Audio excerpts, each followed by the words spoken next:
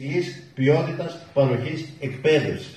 Και έρχεται η νέα κυβέρνηση χωρίς να δώσει καμία εξήγηση και λέει ότι 37, 37 σχολές θα σταματήσουν τη λειτουργία τους. Θα ανασταλεί η λειτουργία τους. Πολλές από αυτές τις σχολές αφορούν και εδώ, τη Δυτική Μακεδονία. Και την Κοζάνη και τη Φλόρινα και τα Γρεβενά.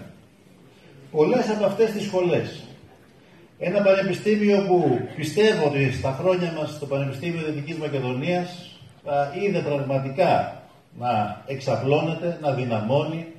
Από τις τέσσερις σχολές πήγε στις 7, στα 28 τμήματα.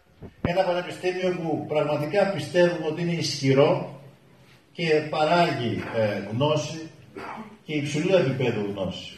Και σήμερα βλέπουμε ότι με μία απόφαση στον πόδι όλο αυτό το έργο πηγαίνει στο καλάθι των αχρήστων.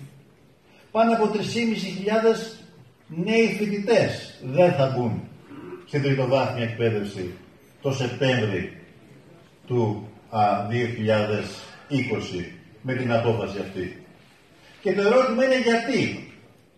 Μήπως αυτό αφορά μονάχα στην εκδικητικότητα απέναντι στο ΣΥΡΙΖΑ, επειδή το έκανε ο ΣΥΡΙΖΑ δεν το επιλέγουμε. Αν συνδυάσουμε αυτή την απόφαση σε σχέση με την κατά εξακολούθηση, δυσφήμιση και κατασυκοφάντηση των δημόσιων πανεπιστημίων στη χώρα μας. Και το συνδυάσουμε και με αυτά τα γεγονότα που βλέπουμε τις τελευταίες μέρες στους δέκτες των τηλεοράσεών μας. Όπου ο μέσος τηλεθεατής έχει την εντύπωση ότι στα πανεπιστήμια μας δεν κάνουν μαθήματα, αλλά παρασκευάζουν μολότο. Και είναι άντρα ανομίας. Αυτά λένε. Δεν είναι έτσι τα πράγματα. Πράγματι υπάρχουν φαινόμενα περιθωριακά, μεμονωμένα, σε κάποιες σχολές στο κέντρο της Αθήνας που πρέπει να τα αντιμετωπίσουμε.